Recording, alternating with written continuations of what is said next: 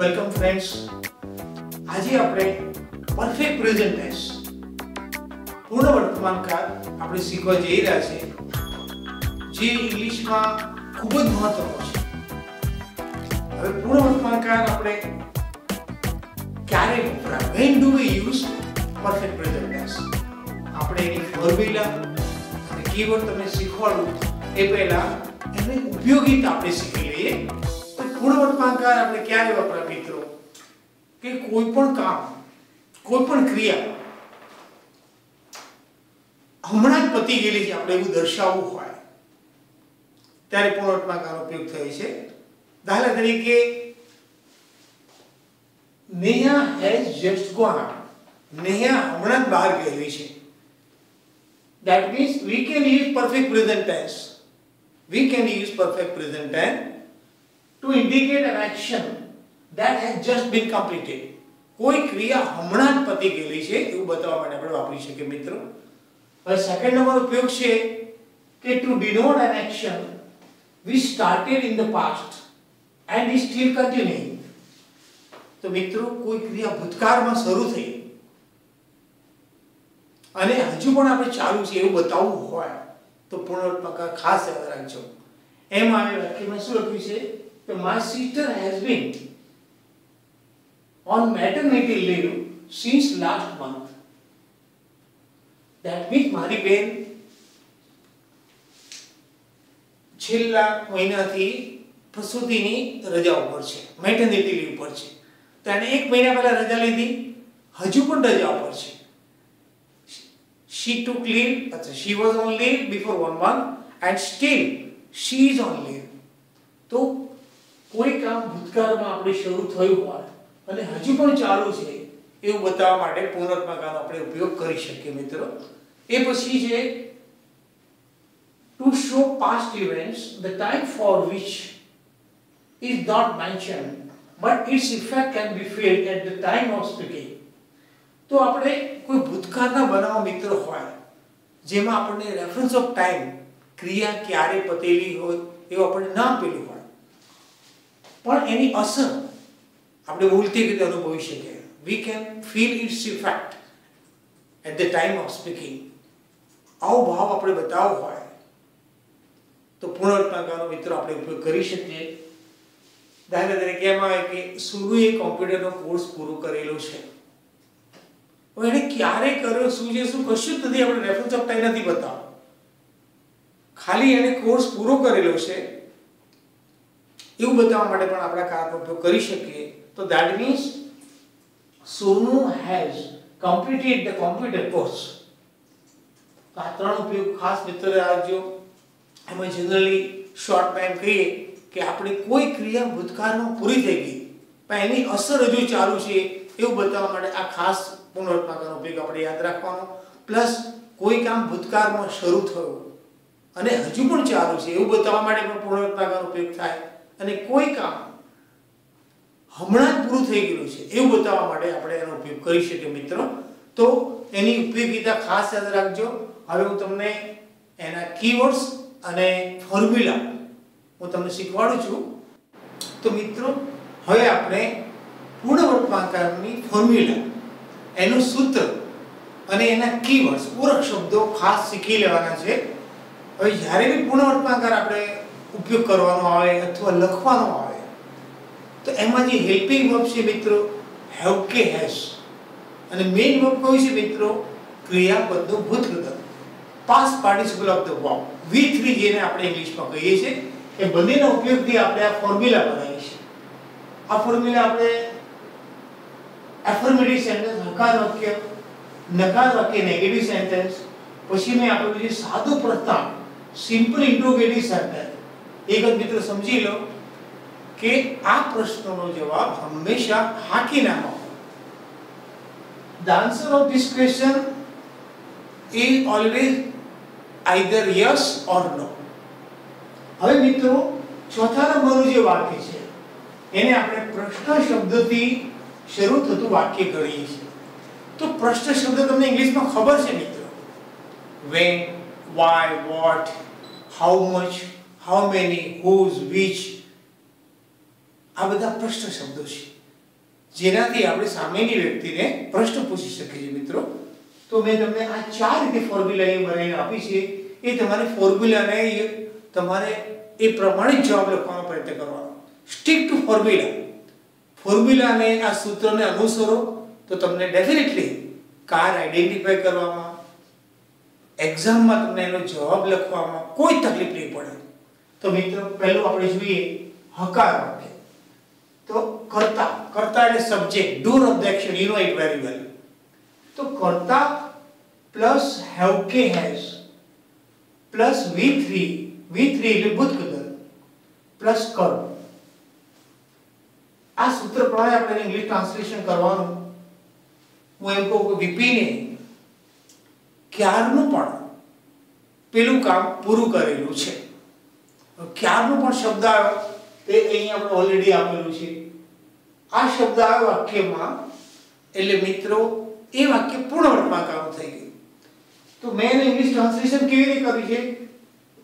Vipin has already done done that work તો done એક do ક્રિયાપદનો ત્રીજા નંબરનો રૂપ છે.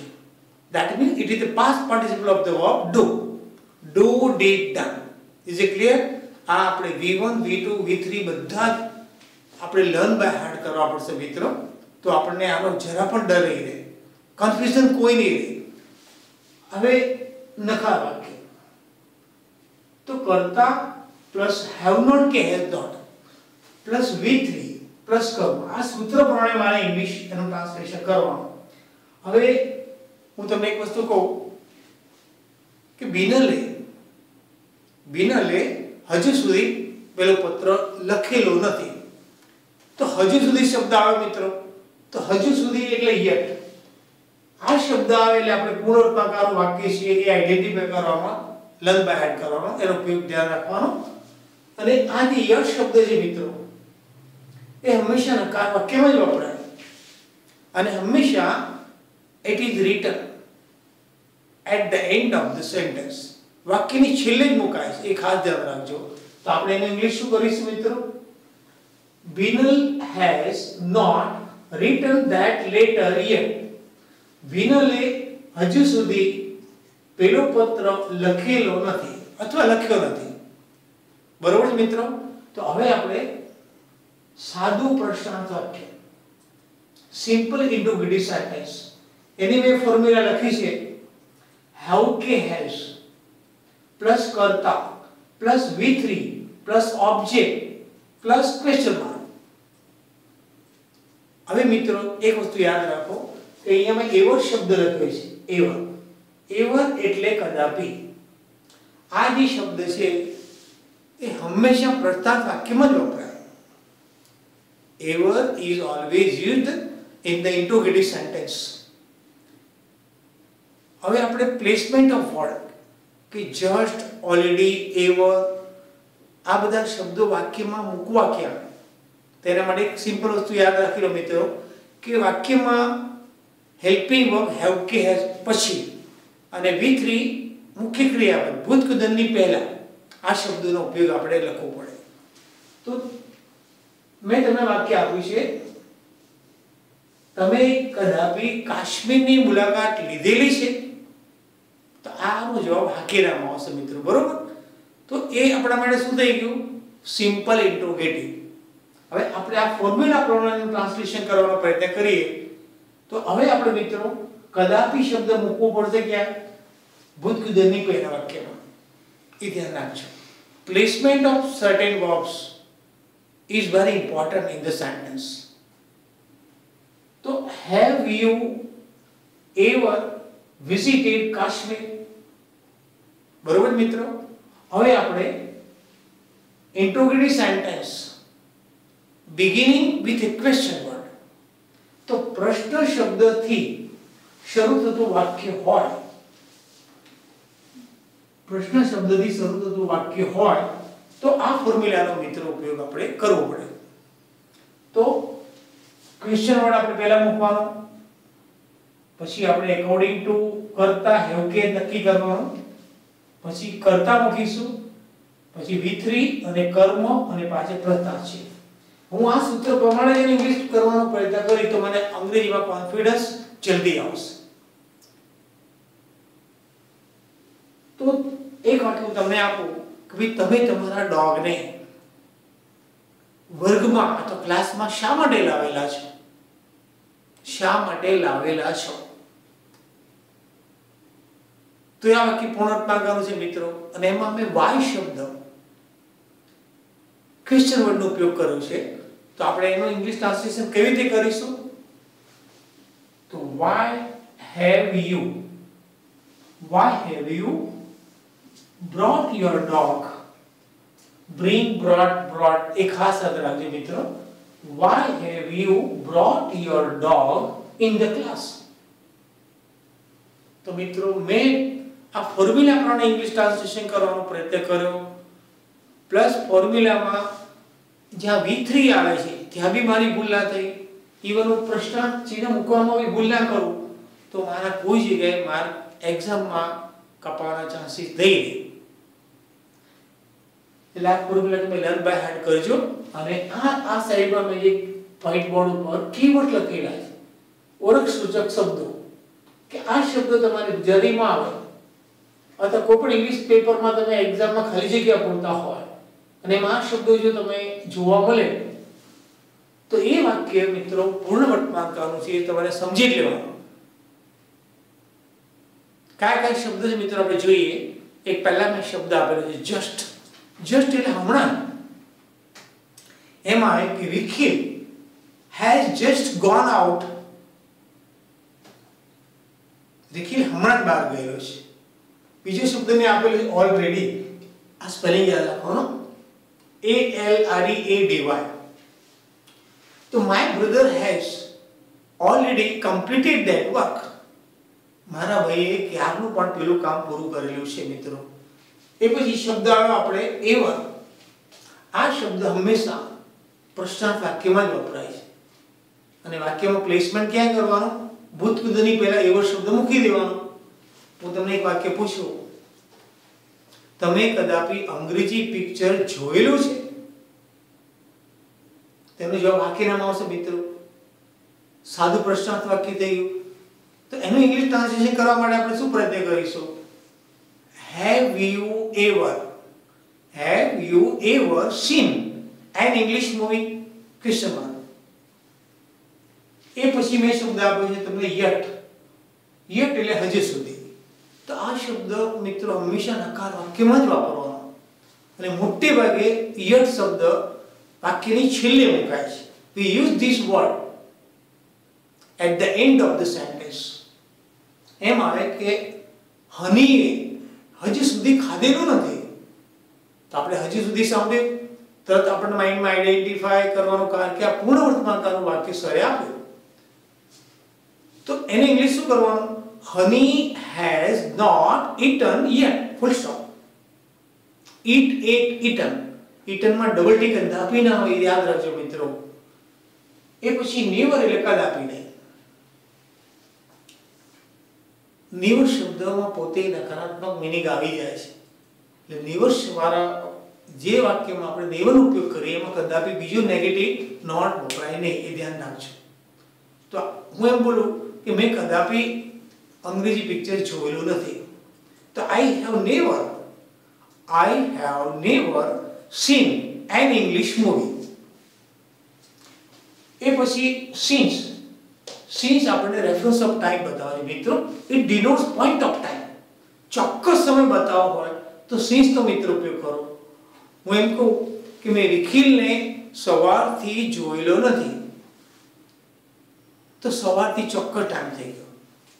એનું ઇંગ્લિશ કરવા માટે સિન્સ મોર્નિંગ લખવું પડશે તો I have not I have not seen Rikhil since morning since one nine eight zero since yesterday evening તો સિન્સ ક્યારે વપરાય એમાં ભૂલ ના થવી જોઈએ મિત્રો એ પછી મેં શબ્દ તમને આપ્યો છે બીજો ફોર તો આ જે શબ્દ છે એનું ગુજરાતી પણ થી થાય અને it denotes period of time indefinite time અચોક્કસ સમય તમારે બતાવવો હોય તો ફોરનો જ ઉપયોગ કરવો પડે. હું એમ કહું, ઘણા દિવસથી મેં રિખિલને જોયેલો નથી. ઘણા દિવસથી એવું આવ્યું તારે.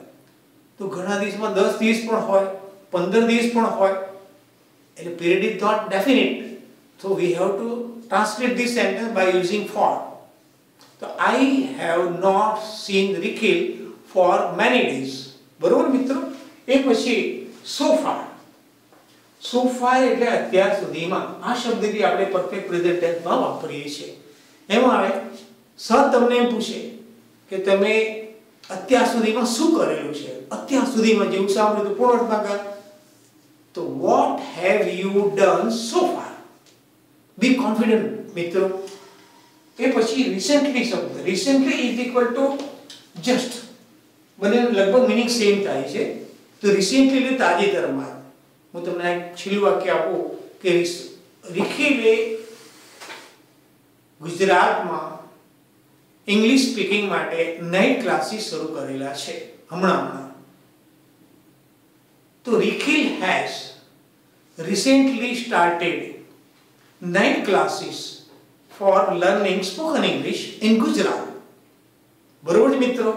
તો એક રિક્વેસ્ટ તમને, કે મેં જે તમને ફોર્મ્યુલા આપી જે ઓળખ શબ્દો આપ્યા અને શરૂઆતમાં એની ઉપયોગિતા ક્યારે થાય એ તમને આપ્યું, તેનો તમે દિલથી અભ્યાસ કરજો. Definitely you will be confident તમારી એક્ઝામમાં લખતી વખતે અથવા ઇંગ્લિશ સ્પીકિંગની પ્રેક્ટિસ વખતે આપણી કોઈ ભૂલ નહીં કાઢી શકે. મિત્રો, તો બી વિથ અસ હવે મિત્રો, તમને આ ટ્યુટોરિયલ ગમ્યું did you enjoy this tutorial did you like this video friend do like this video and be with us. Do subscribe our channel for more and more updates તો હવે મિત્રો આપણે next વિડીયોમાં મળીશું ત્યાં સુધી રજા આપશો નમસ્તે